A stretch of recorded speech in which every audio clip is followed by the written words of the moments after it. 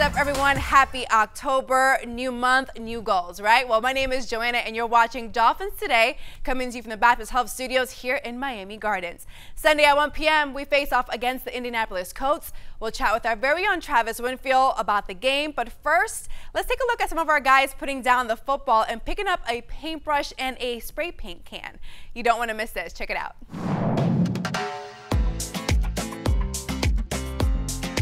I'm Jaelan Phillips, and as you can see, we're out here spray painting this beautiful mural. It's my first time really getting out here and painting, so something new to me, learning. It's kind of fun though. Yeah, well, let's just say I'm a better football player than I am a painter, but uh, we're having a great time out here. Getting to know kids from around here and just the culture, just getting you know inside the community is always good. But you know, it's a gorgeous mural to put up here, so you know, hopefully the fans will love it too. I for sure can't wait to see that Pollo Tropical mural before entering the Hard Rock Stadium. It's looking pretty good, fellas. All right, speaking of the game on Sunday, we'll be celebrating the life of Miami Dolphins legendary coach Don Shula. Coach Shula had such a monumental impact, not just on the Dolphins, but the entire community, and no one knows that better than Miami Dolphins alumni OJ McDuffie. OJ, can you speak to the life and legacy of Coach? Mr. Don Shula, the greatest football coach in professional football history. I want to start off by saying thank you. Thank you for that incredible phone call in April of 1993. The only phone call I got from the greatest coach in NFL history. Come on, man. You know, not only was I coming to Miami after that phone call, I was playing with Dan Marino and I was playing for the great Don Shula. What you mean to me, what you mean to the Miami Dolphin organization, and what you mean to the city of Miami is immeasurable. Thank you, thank you, thank you, Baltimore, for the greatest trade in football history when you brought the great Don Shula down here to be a Miami Dolphin.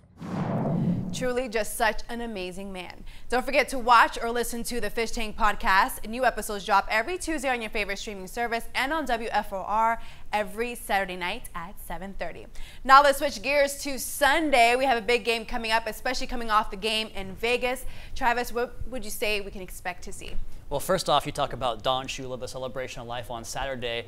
All that alumni base is going to be in the building on Sunday as well at Hard Rock Stadium with one of the best alumni groups in the entire National Football League. People stay in this area, they're loyal to their Dolphins, and that includes our alumni as well. As for the game itself, try to build off some of the positives we had late in the game offensively and the stretches of dominance the defense had throughout periods of that game. Early on with the pick six, obviously, the fourth down stop, and then some stops later on as well. But the production of the passing game we saw in the fourth quarter and overtime with Jacoby Brissett going to DeVante Parker, Jaylen Waddle, Mike Gesicki. Hopefully they can continue that success from the fourth quarter and overtime in the passing game and carry it over to Sunday against the Colts.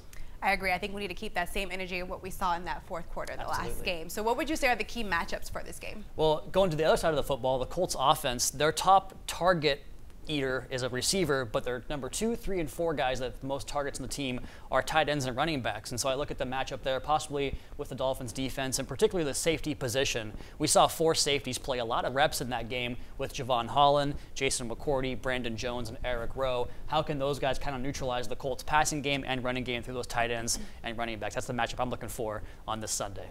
So the Colts are going to be trying to grab their first win of the season. So how do we stop them?